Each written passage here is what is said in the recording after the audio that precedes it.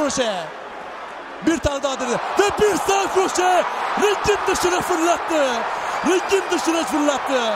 Bugün ve yarın sizlere iki hayat hikayesi anlatacağım. Bu iki hayat hikayesi o kadar farklı ki tek bir ortak noktaları var o da boks. Bir tarafta ölüm ya da hapis ikileminden çıkan dostlarını kaybeden bir adam, diğer tarafta ise sadece boks üzerine kurulmuş bir hayat ve popülerlik. Bir tarafın hayatı Floyd Mayweather'la diğer tarafın hayatı ise Canelo Alvarez ile kesişmiş. Bahsettiğim bu adamlar Nisan ayında karşı karşıya gelecek. Tıpkı yıllar önce Floyd ile Canelo'nun karşı karşıya gelmesi gibi. İki tane yenilgisiz adam ve sadece biri yoluna yenilgisiz devam edebilecek. Sizce kimin sıfırı bozulacak. Cervanto Davis'in mi Ryan Garcia'nın mı? Bugün sizlere Cervanto Davis'in hayat hikayesini anlatacağım. Yarın aynı saatte Ryan Garcia belgeseli de sizlerle olacak. Çayınızı kahvenizi hazırlayın. Çünkü Cervanto Tank Davis'in hayat hikayesi sizlerle.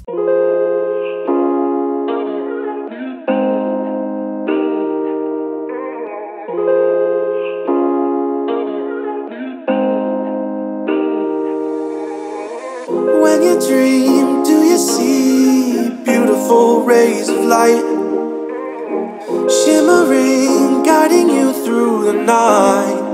I, I know it feels like the night's getting longer and light is harder to find.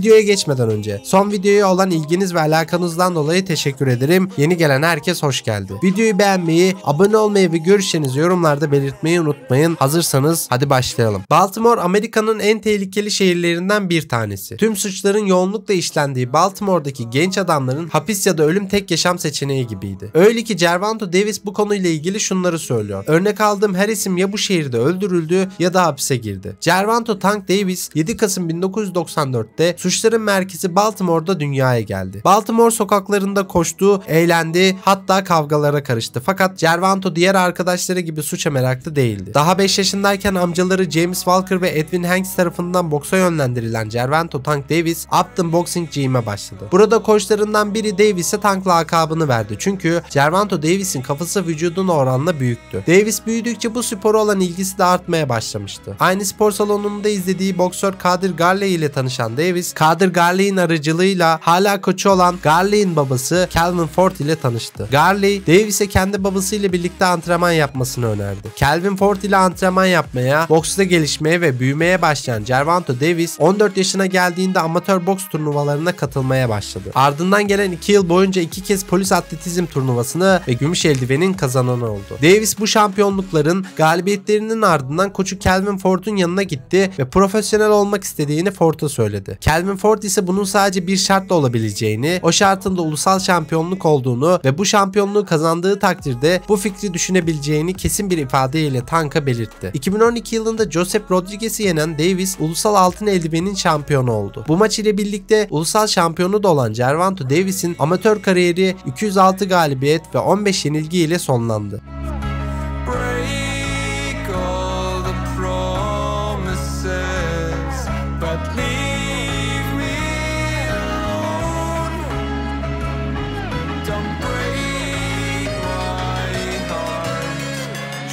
can't stay with them. Her şeyi giderken önce kız kardeşini savunurken bıçaklanan amatör boksör Ronald Gibbs'in ölümü bu olaydan 2 sene sonra hem koçunun olduğu hem de Davis'in örnek aldığı Garley'in Baltimore'da öldürülmesi Davis'i adeta yıkmıştı. Sevdiği, örnek aldığı insanlar bir bir ölüyordu Tank'ın. Baltimore'un artık bir geleceğe ve bir ışığa ihtiyacı vardı. İşte tüm bu sorumluluğu Davis üstlendi. Bu konuyla ilgili şunları söylüyor kendisi. Aslında örnek aldığım birçok genç adam ya öldü ya da hapiste. Ne zaman dövüşsem onların mirasını da kendim ile birlikte ringe çıkartıyorum. Bu büyük bir sorumluluk olsa da bunu üstleniyorum. Baltimore'dan gelen pek çok kötü şey var ama eğer bir kişinin yapabileceğini görürlerse o zaman bir sonraki kişi de yapabilir ve bu böyle devam eder. Yapabileceğim tek şey Baltimore'a ışık getirmek.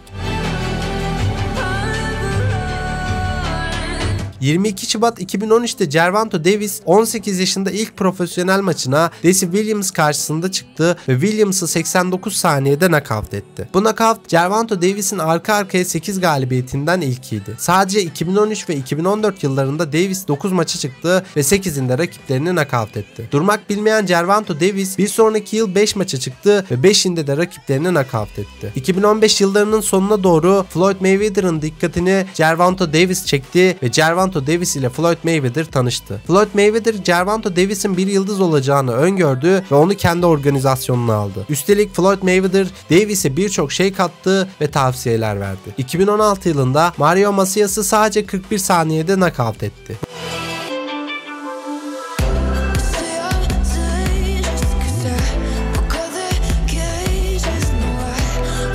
Bu knockout inanılmazdı fakat insanları ayağa kaldıran Tank'ın şampiyonluk performansıydı. 14 Ocak 2017'de Gervonta Davis daha önce yenilmeyen IBF tüy siklet şampiyonu Jose Pedraza'yı 7. roundda knockout etti. Kroşe. Bir tane daha dedi. Ve bir sağ kroşe. Ringin dışına fırlattı. Ringin dışına fırlattı. Yeni IBF tüy siklet şampiyonu olmakla kalmayan Cervanto o günlerde Amerika'nın hüküm süren en genç şampiyon oldu. Lennox Lewis'in Haşim Rahman yenilgisinden sonra Baltimore'un yeni şampiyonu Cervanto Davis oldu. Bu maçın bir diğer önemi de şu. Floyd Mayweather 18. maçında kemere ulaşmışken Cervanto Davis bunu 17. maçında yapmıştı.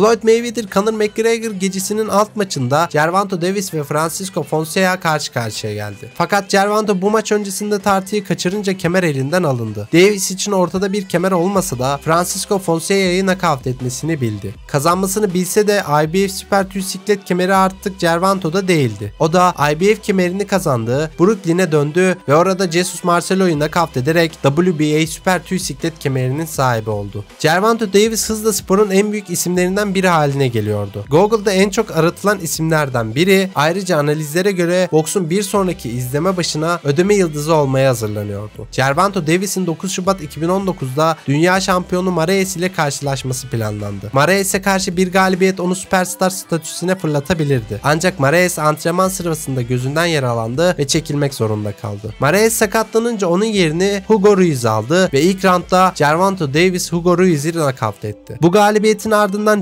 Gervonta doğduğu yerde Baltimore'da arkadaşlarının sevdiklerinin önünde Ricardo Nunes'i de ikinci roundda nakavt etti. Bu maçtan sonra Gervonta hem siklet çıkmak hem de ikinci kemeri beline geçirmek istiyordu ve hedefinde hafif siklet vardı.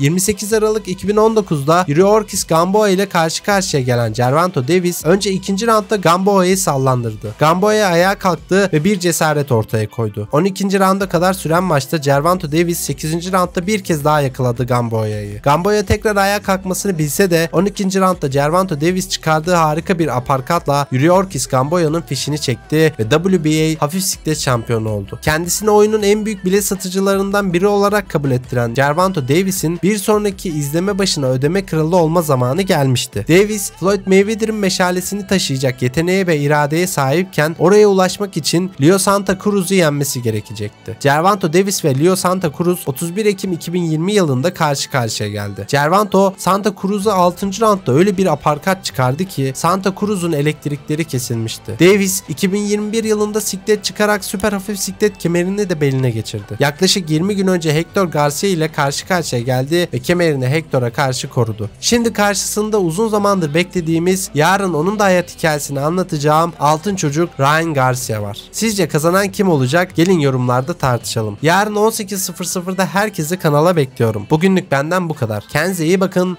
Sağlıcakla kalın.